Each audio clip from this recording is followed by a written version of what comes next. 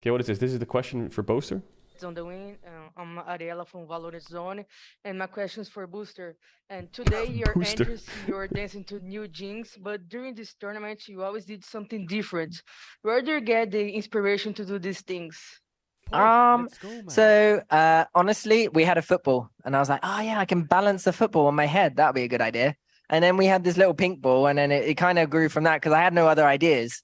And then um, we went to the arcade in the mall near us, and we won enough tickets to buy a pot, a cauldron.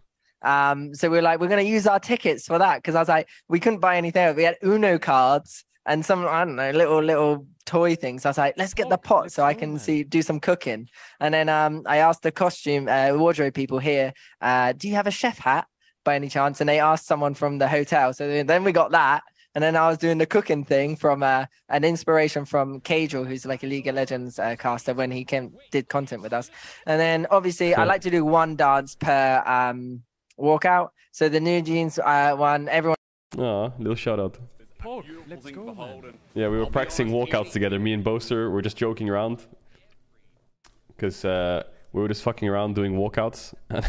I said, why don't you do a why don't you do a let him cook walkout? Why why why don't you just stir some fucking pot? All the same. Whereas you look at Weibo on the other side. Yes, they beat Fnatic in Valorant, Gigachad, Fnatic in League. I can't. But LNG lost to. Weibo also took a surprise loss to TT. And then earlier in the split to BLG. It's funny, losing to some of these teams that are